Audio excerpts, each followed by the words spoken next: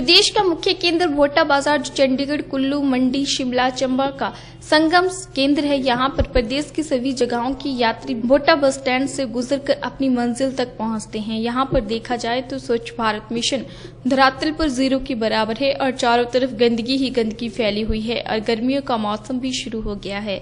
यहाँ जो टूटा फूटा शौचालय था, वो भी पिछले आठ महीनों से गंदगी से भरा पड़ा है। यात्रियों को यहाँ पर शौच खुले में ही करना पड़ता है, जिससे इस मौसम में कई बीमारियों को दस्तक दे रहा है। ऐसे तो जिला प्रशासन हमीरपुर को स्वच्छ जिला कहा जाता है, पर प्रदेश का केंद्र भोटा बस स्टैंड की तरफ़ अभी किसी की नज़र नहीं पहुँच। आने जाने वाले लोग खुले में शौच करने को मजबूर है और जो शौचालय बनाए गए हैं, वो टूटे पड़े हैं। नए शौचालय का काम लगे हुए कई दिन हो गए हैं, लेकिन आज तक पूरा नहीं हो पाया। तो इससे ये साबित होता है कि जिला प्रशासन का स्वच्छ भारत मिशन सिर्फ़ कागजों तक ही सीमित है और देखने में कुछ और ही नज़र आता है।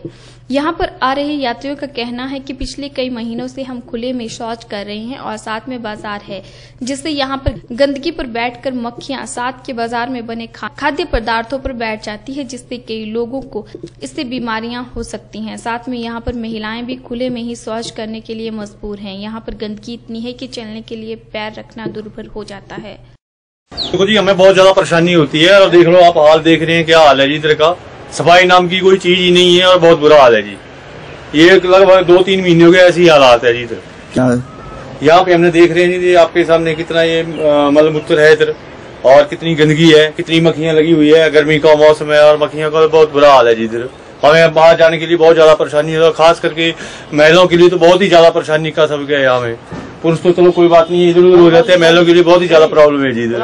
और हमें भी बहुत ज़्यादा प्रॉब्लम है जी।